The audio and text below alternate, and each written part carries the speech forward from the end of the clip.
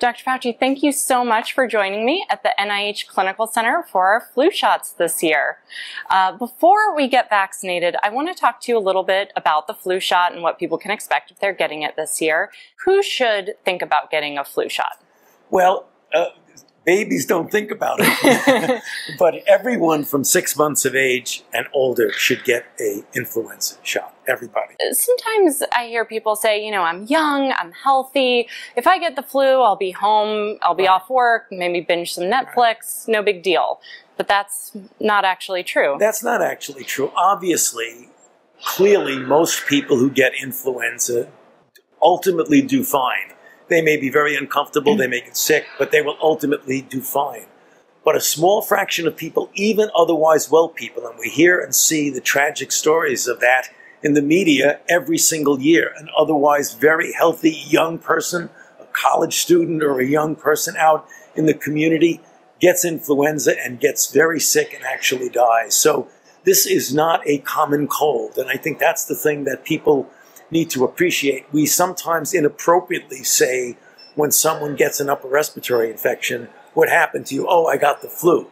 They likely did not get influenza. Influenza is really potentially and from history a very serious disease. And so when should people start thinking about getting a flu shot? People should start thinking about getting the flu shot now. And by now, I mean October. You, everyone should, if possible, have been vaccinated by the end of October. So we should all be prepared. Is right. it ever too late to get a flu no, vaccine? It's never too late. And people say, well, we're well into the season. I haven't gotten uh, flu, but there's flu out there. It's now December, January. It's never too late to get vaccinated. Having said that, try to get vaccinated before October 31st. And people have a lot of fears and concerns about getting vaccinated. And I know some folks in my family have asked me, you know, what about side effects for the vaccine? Am I going to get sick? Am I going to have a, a weird reaction to it? What, what would you say to folks who are worried about that? What we do know from decades of experience is that influenza vaccine is a very safe vaccine. In general, most people have nothing but maybe a little bit of a sore arm for a few hours to 24 hours, and then you're done. A lot of people think that they got the no. flu, a mild no. case of the flu from the vaccine. No. Is that how it works? No, it's impossible. Not unlikely, but impossible for you to get the flu from the flu vaccine. And I've heard other people say some things like, I have never gotten the flu vaccine and I've never gotten the flu, so that's working for me. And I've heard folks say, I got the flu vaccine one year and that's the year I got the flu. Right. What what would you say to those well, folks? for the people who said I never got the flu vaccine and never got the flu, that's really good. Congratulations, you're lucky. But you have a long life and the chances of you ultimately getting influenza if you don't get the flu vaccine are reasonably good. So the idea that you have not gotten the flu, despite the fact that you've not gotten the flu vaccine, is absolutely no excuse not to get the flu vaccine. The other situation is the person says, well, the year that I got the flu vaccine, I got the flu.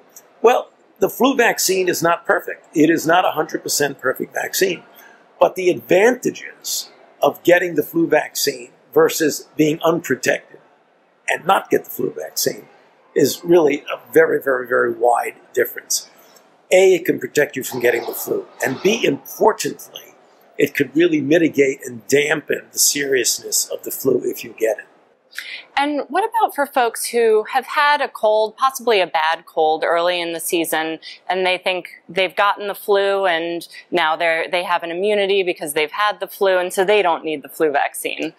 Well, there's, there's two components to the answer. One, they may not have gotten influenza. They may have gotten any of a number of the circulating upper respiratory viruses coronavirus, adenovirus, parainfluenza. They think it's flu and it's not.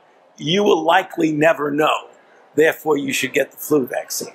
Secondly, if you did get one of the flus, there isn't just one flu that circulates. In the vaccine, there are three and sometimes four components. There's H3N2, H1N1, and 2B influenzas. So it is conceivable that you were infected with an H1N1 in the end of October, the beginning of November. You are still vulnerable to H3N2 and to B.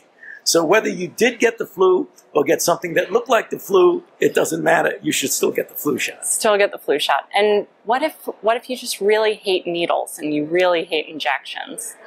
what would your advice be? Well, I my, my advice I would say suck it up and get and get vaccinated. But if it really, really is a problem, there is a live attenuated uh, uh, nasal vaccine that's available. And so every year we hear in the news that there's this conversation about whether the vaccine matches the Right. flu virus that's circulating in the population.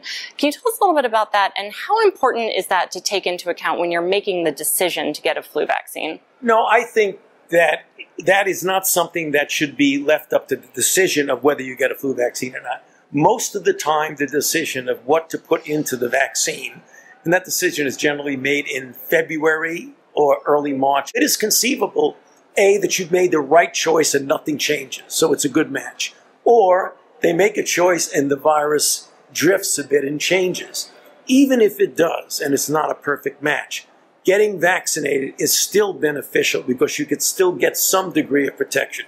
It might not be the optimum degree of protection, but it would be some degree of protection. Wonderful. Let's go get our shots. Let's do it. Hey there. How are you? Good to see you.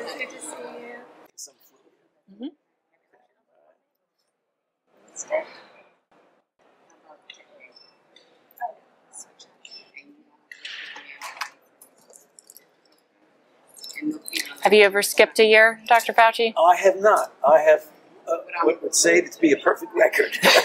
I've gotten vaccinated every single year since I've been here at the NIH.